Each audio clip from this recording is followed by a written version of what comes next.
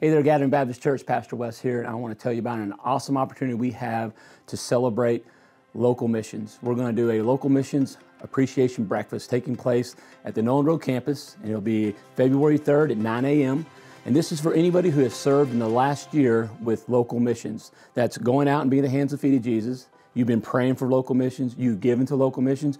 We want to come and celebrate you. We also want to celebrate our local mission partners. They will be there with us, eating together, celebrating what God's been doing in and through our community. So get signed up on the app, come join us for breakfast, and we'll get to rub shoulders with one another. We'll get to hear what God's doing, and we want you to be there and know that you are appreciated, and we thank you for all that you do for going, serving, and giving, and being the hands and feet of Jesus. Thanks for all you do, and we'll see you soon.